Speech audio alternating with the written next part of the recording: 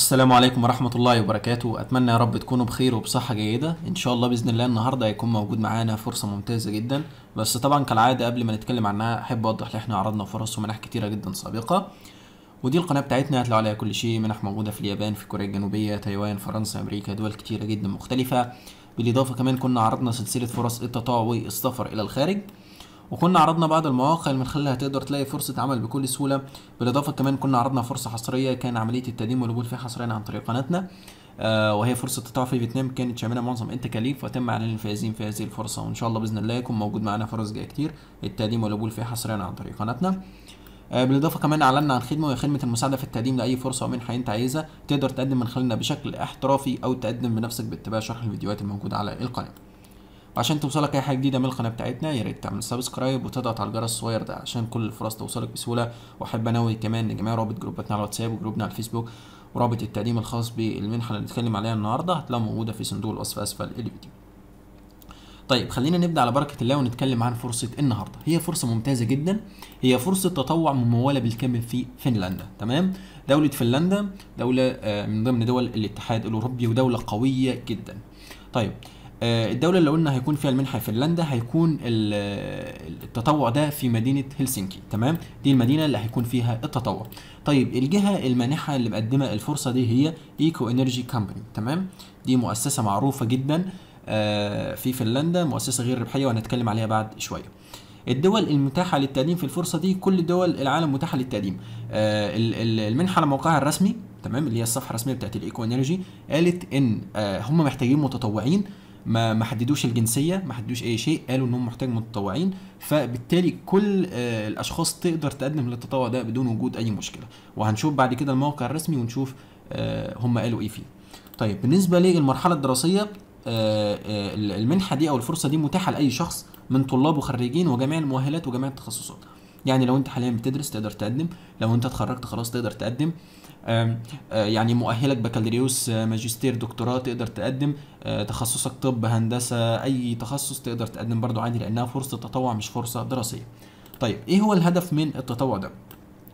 أول حاجة بس خلينا نتعرف على منظمة ال Eco Energy زي ما قلنا هي مؤسسة غير ربحية متخصصة بمجال الطاقة والكهرباء والغاز وغيره.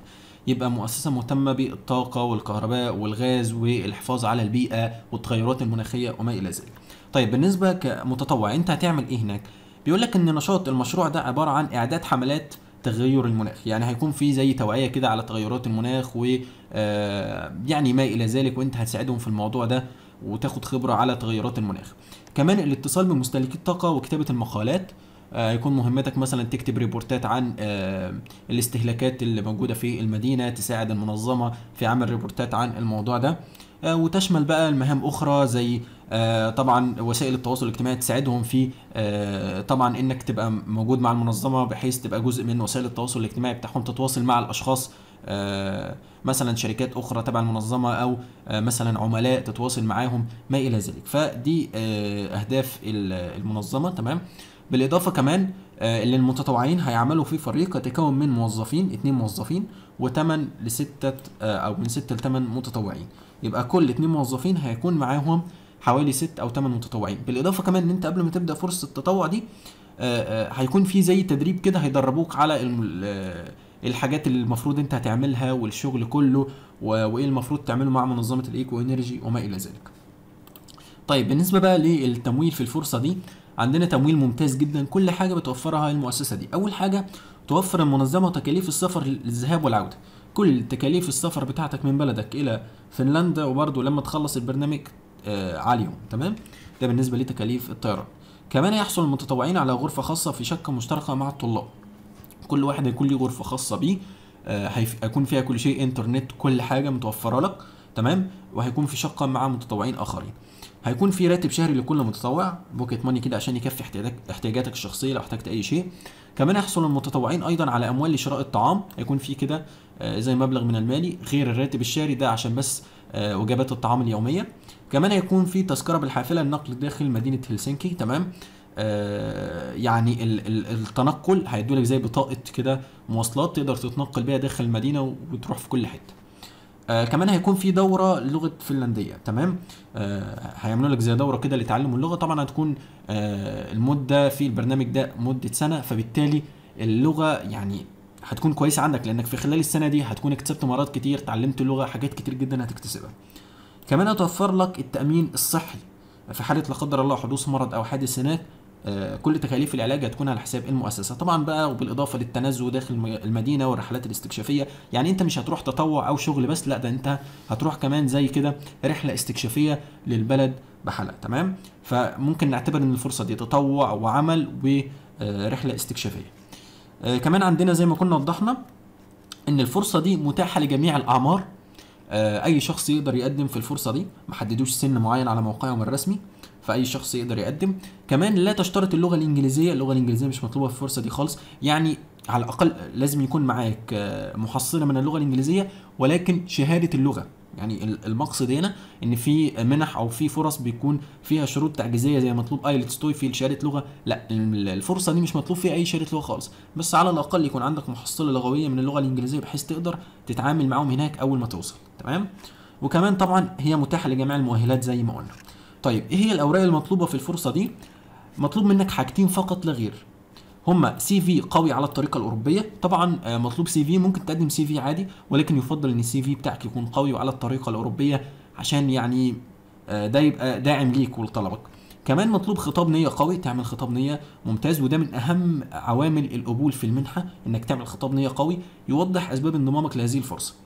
ليه انت عايز تنضم للفرصة دي؟ وإيه الاستفادة اللي انت تستفيدها؟ وإيه ال ال الأشياء آه، اللي انت ناوي تعملها هناك أو اللي آه، يعني تعلي من المؤسسة دي؟ لأن المتطوعين بيجوا عشان يشتغلوا مع المؤسسة في نفس الوقت يكتسبوا خبرة وفي نفس الوقت المؤسسة بتحاول زي إيه تعلي من آه، إمكانياتها بالمتطوعين دول. فبالتالي أنت إيه الحاجات اللي تضيفها للمؤسسة دي؟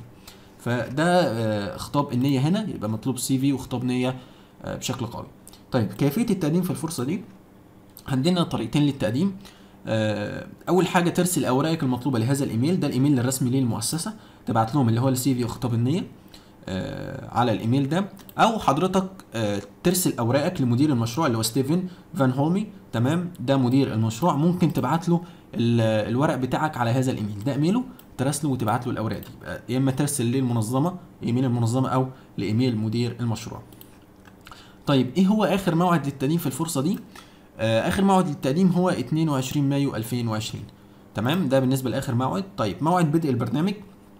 البرنامج ده هيبدأ من 1 9 2020 من شهر سبتمبر 2020 وحتى 31 أغسطس 2021 يعني المدة بتاعته حوالي سنة. تمام؟ آه وهنا أنا كتب لكم ملاحظة. اللي إحنا كقناة منح من كل الألوان آه طبعا آه بنقدم آه فرصة يعني بنتيح فرصة تقديم لأي منحة أو فرصة أنت عايزها. تقدر تقدم من خلالنا بشكل احترافي ورابط استمارة التواصل معنا للتقديم من خلالنا هتلاقوه في صندوق الوصف أسفل الفيديو. وطبعا بنجهز لك خطابات النية CV الحاجات دي كلها آه، بنجهزها لك فتقدر تتواصل معنا وتقدم من خلالنا أو ممكن تقدم بنفسك عادي باتباع شرح الفيديو. آه طيب كده خلصنا شرح المنحة. تعال نشوف دلوقتي الموقع الرسمي للمنحة.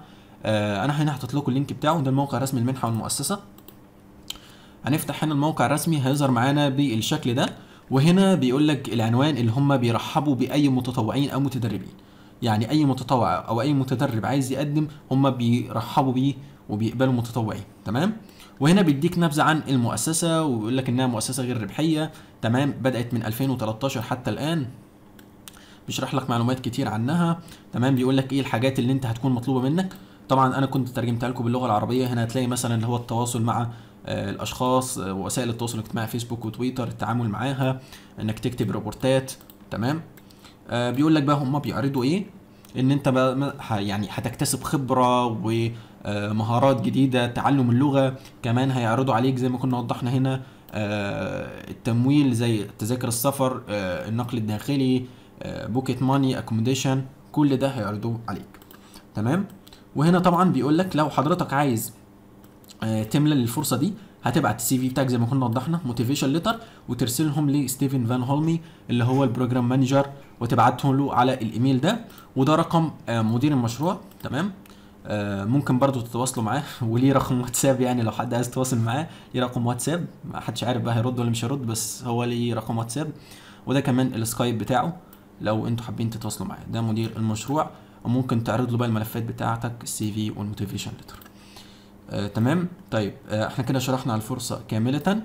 آه كل شيء وضحناه. فرصة ممتازة جدا. تذاكر سفر آه آه غرفة خاصة ليك سكن راتب شهري آه أموال لشراء الطعام تذكرة داخلية يعني التنقل الداخلي بالحافلة دورة لغة فنلندية تأمين صحي دورة استكشافية أو رحلة استكشافية داخل المدينة والدولة يعني حاجة ممتازة جدا.